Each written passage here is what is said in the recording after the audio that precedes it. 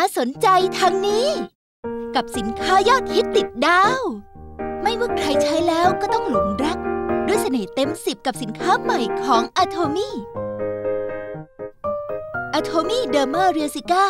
สงสัยกันแล้วใช่ไหมคะ เราจะไปทำความรู้จักพร้อมกันค่ะ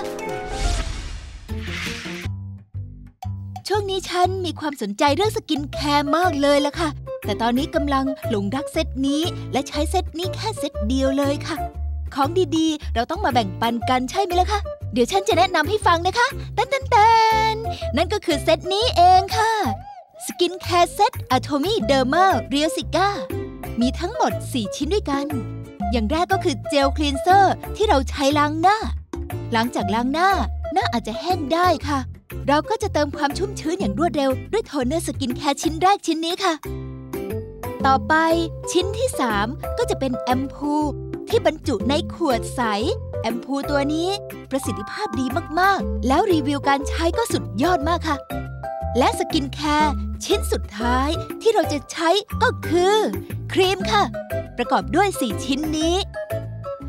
ถ้าเราสังเกต skincare สมัยนี้ อย่างที่ทุกคนเห็นเลยค่ะ สมัยนี้มีสินค้าที่มีคำว่า derma cica เยอะมากค่ะ เขาบอกว่าถ้ามีคำนี้ จะแปลว่ามีหญ้าเสือหรือใบบัวบก เป็นส่วนประกอบอยู่ค่ะ ซึ่งมีคุณสมบัติในการปลอบประโลมผิวที่อ่อนแอและแพ้ง่าย จริงๆ แล้ว ช่วงนี้ผิวฉันแห้งมากผิวก็เลยดูโทรมๆแล้วก็มีเซลล์ผิวที่ตายแล้วเยอะมากเลย แล้วตรงแก้มทั้งสองข้างคางหน้าผาก ก็แพ้และมีรอยแดง ต่อให้แต่งหน้าก็ปกปิดได้ไม่หมดเลยละค่ะทำเอาฉันเครียดมากเลยค่ะ แต่เมื่อเปลี่ยนมาใช้ Atomy Derma r e s i c a เซตนี้แล้ว ผิวของฉันก็สงบลงและดีขึ้นมากๆแบบนี้เลยละค่ะ เดี๋ยวฉันจะโชว์วิธีการใช้ให้ทุกคนดูกันนะคะ ขอไปลบเครื่องสำอางออกก่อนนะคะ เอาละค่ะ โชว์หน้าสด ไม่โชว์ได้ไหมคะ คงไม่ได้สินะคะ เดี๋ยวฉันจะใช้เจลคลีนเซอร์ขวดนี้ล้างหน้านะคะ เราจะเช็ดเครื่องสำอางออกก่อนค่ะ เออวันไหนที่ฉันแต่งหน้า ฉันจะล้างหน้าสองครั้งเลยค่ะ ปั๊มเจลคลีนเซอร์นี้ประมาณ 2-3 ปั๊ม ลงบนฝ่ามือค่ะ แล้วก็ผสมน้ำไปนิดนึงแล้วถูโอ้ฟองนุ่มมาก ๆ เลยค่ะ หลังจากถูจนเกิดฟองแล้ว เราก็ถูลงบนใบหน้าเลยค่ะ ถูวนๆ บนหน้าเบา ๆ นะคะ ราะผลิตภัณฑ์นี้อ่อนโยนและชุ่มชื้นมาก แม้จะล้างหน้าสองครั้งก็ไม่รู้สึกระคายเคืองและยังคงชุ่มชื้นค่ะ gel cleanser มีความอ่อนโยน ไม่รู้สึกระคายเคืองและชุ่มชื้นมาก เดี๋ยวฉันจะล้างออกด้วยน้ำสะอาดนะคะ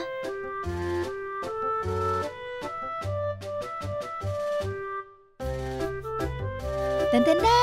นฉันล้างหน้าด้วย gel cleanser เรียบร้อยแล้วค่ะ แม้ว่าฉันจะอายที่หน้าสดนิดนึง แต่ฉันจะโชว์ให้เฉพาะพวกคุณเห็นแล้วกันค่ะ แม้จะลบเครื่องสำอางหมดแล้ว ไม่ได้ทาอะไรเลยก็ตาม แต่หน้าฉันก็ยังคงรู้สึกชุ่มชื้น ไม่แห้งตึงเลยละค่ะ เดี๋ยวฉันจะลง skincare สามขั้นตอนแล้วนะคะ ก่อนอื่น อย่างแรกเลย เราจะเติมความชุ่มชื้นด้วยการเทโทนเนอร์ ลงบนสำลีพอประมาณค่ะ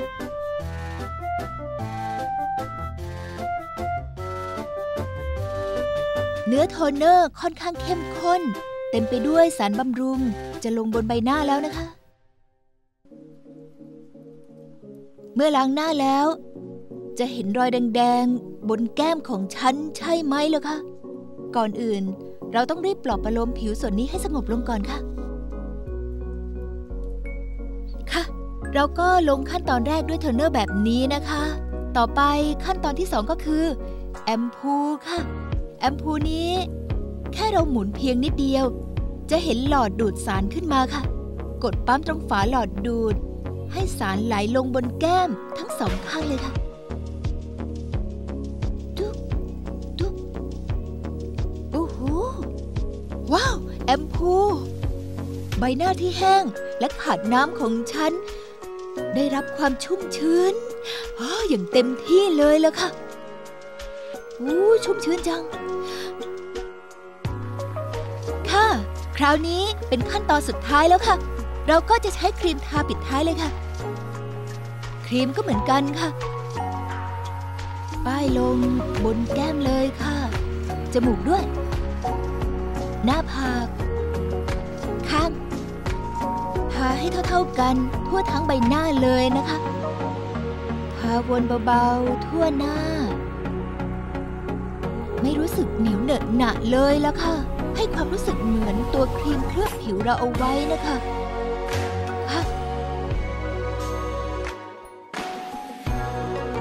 เอาละค่ะ เราลงสกินแคร์ไปครบ 3 ขั้นตอนแบบนี้แล้ว แม้จะลงไป 3 ตัว แต่ผิวไม่รู้สึกหนักเลย และยังรู้สึกชุ่มชื้นมาก ๆ ค่ะเป็นยังไงคะหน้าฉันดูฉ่ำวาวเปล่งประกายไหมคะ แล้วก็เหมือนกับ มีชั้นปกป้องผิวเคลือบผิวเอาไว้อีกชั้นเลยละค่ะ ฉันขอแนะนำอะโทมี่เดอร์มาเรือซิก้าเลยค่ะ แนะนำจริง ๆ ค่ะ แต่มันคืออะไรทำไมมันถึงดีขนาดนี้เนี่ย เมื่อสงสัยแล้วคงปล่อยผ่านไปเฉย ๆ ไม่ได้ค่ะ เพื่อค้นหาเคล็ดลับของ Derma Real Cica เราจะไปบุกสถาบันวิจัยกันค่ะ Atomy Derma Real Cica สงสัยกันแล้วใช่ไหมคะ วู้ ค่ะเพื่อคลายข้อสงสัยนั้น เราจึงเชิญนักวิจัยที่รับผิดชอบมาพูดคุยในวันนี้ค่ะ เชิญเลยค่ะ สวัสดีค่ะ สวัสดีค่ะ สวัสดีค่ะยินดีที่ได้พบนะคะ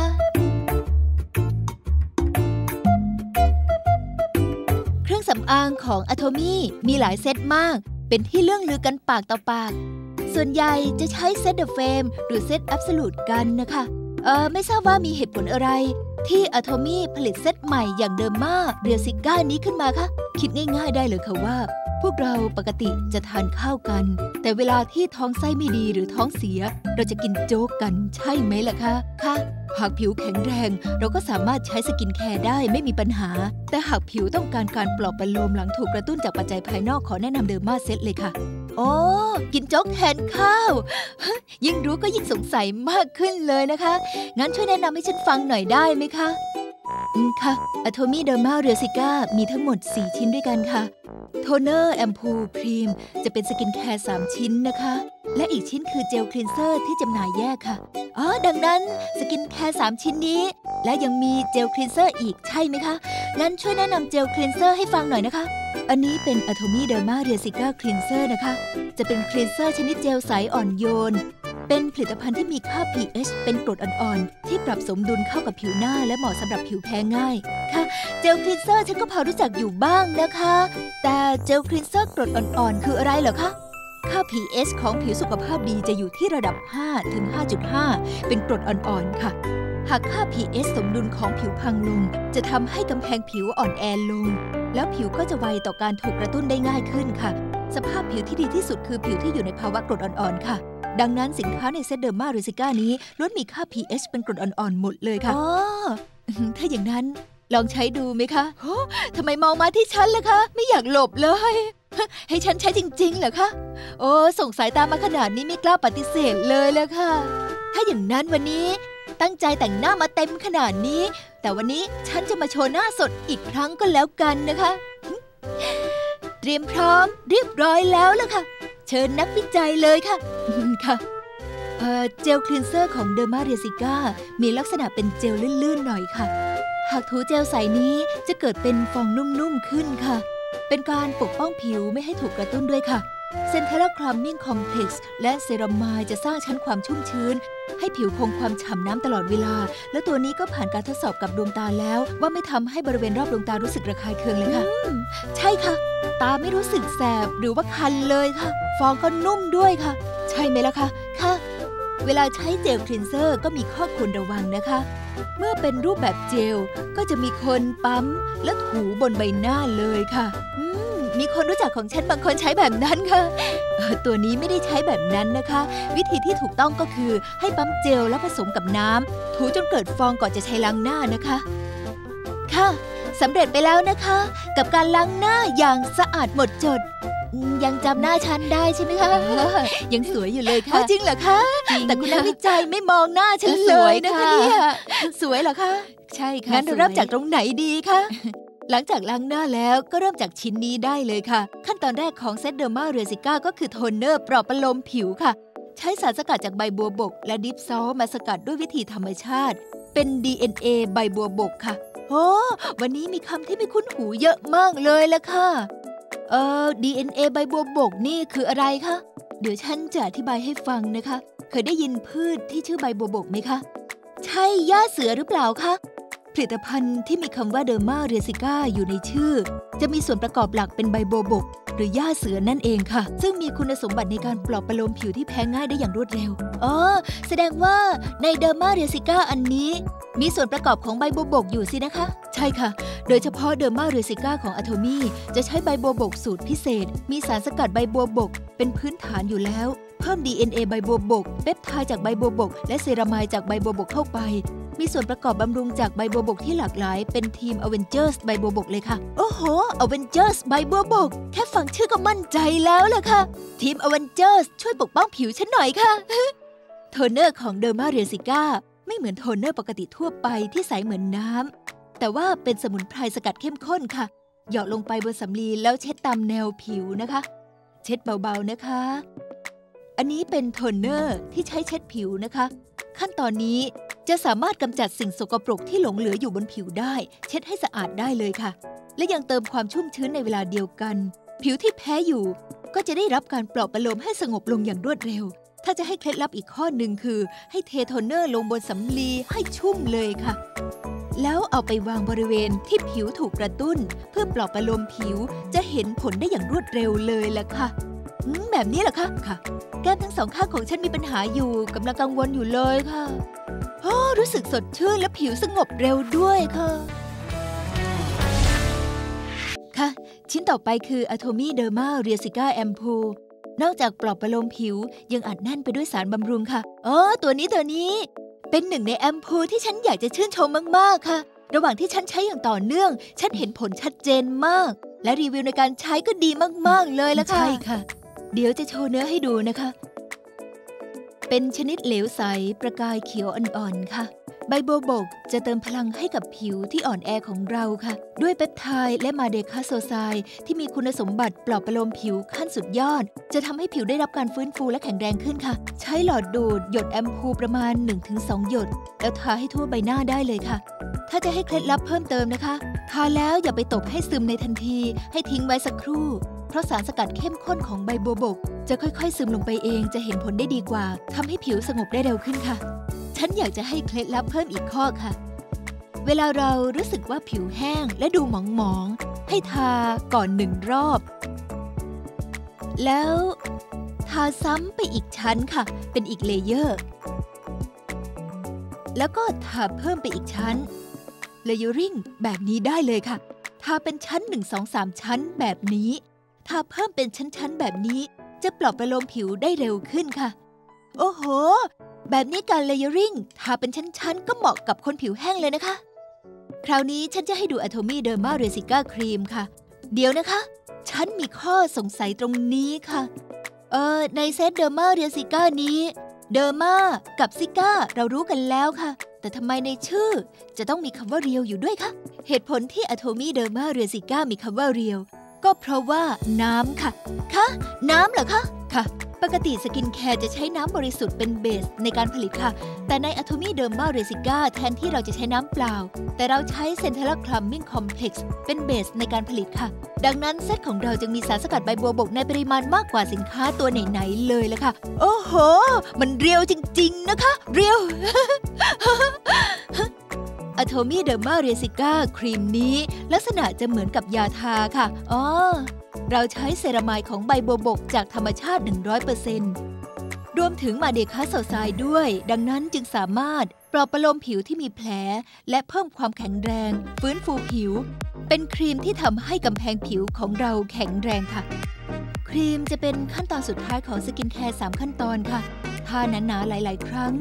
สามารถใช้เป็น sleeping mask ก็ได้ค่ะ โอ้จริงเหรอคะ ค่ะ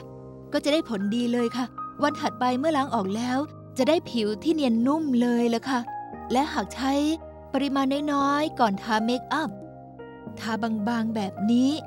ผิวก็จะดูเปล่งประกาย และดูฉ่ำวาวเลยค่ะ อืม ใช้ครีมนี้ในการแต่งหน้าลุกผิวฉ่ำวาวได้เลยสิคะอันนี้คือพลังของทีม Avengers บัวบก เป็นยังไงคะ ผิวฉันดูเปลี่ยนไปไหมคะ Atomy Derma Real Cica สงสัยกันใช่ไหมคะ พอจะช่วยคลายความสงสัยเกี่ยวกับสกินแคร์เซตใหม่นี้ได้หรือยังคะ เดี๋ยวก่อนนะคะทำไมคะ ฉันอยากฝากเคล็ดลับสุดท้ายให้ทุกคนค่ะ อ๋อค่ะ คนที่มีความกังวลเรื่องผิวแพ้ง่าย ต่อให้เป็นสกินแคร์ที่เบาแค่ไหนก็ยังกังวลไม่กล้าทา อยากให้ลองใช้ Derma Real Cica ampoule ชิ้นนี้แบบเน้นๆ เพื่อการพอกผิวอย่างฉุกเฉินดูค่ะ โอ้ให้เน้นแอมพูหมายความว่ายังไงคะ ให้ลดขั้นตอนโทนเนอร์ไปได้เลยค่ะ แล้วให้เน้นแอมพูโดยการทาเป็นชั้นๆ อ๋อ layering ไป เป็นการส่งต่อสารบำรุงสกัดเข้มข้นให้ผิวอย่างเต็มที่ไปเลย แล้วก็ทาครีมเพิ่มลงไป ก็จะเป็นการสร้างชั้นปกป้องผิวอย่างสมบูรณ์ค่ะอ๋อต้องลองใช้วิธีนี้ดูแล้วล่ะค่ะ เพราะ Atomy Derma Real Cica ผลิตมาเพื่อผิวที่บอบบาง จึงแนะนำให้กับวัยรุ่นได้อย่างมั่นใจเลยค่ะ อ๋อ อย่างนี้นี่เอง อย่างที่นักวิจัยพูดไปก่อนหน้านี้ ที่พูดว่าเวลาเราป่วยเราจะกินโจ๊กแทนข้าว ผิวก็เช่นกันค่ะ เวลาผิวของเราอ่อนแอลง ก็จำเป็นจะต้องเลือกสกินแคร์ที่เหมาะสมกับสภาพผิวของเรา มาใช้ Atomy Derma Real Cicaทำให้ผิวเราสงบ ไร้ปัญหากวนใจกันดีกว่าค่ะ DNA ใบบัวบกเปปไทด์ของใบบัวบก เซรามายของใบบัวบก มาปลอบประโลมผิวแบบเรียวๆกัน ด้วยใบบัวบกสูตรพิเศษเฉพาะที่อะโทมี่กันเถอะค่ะ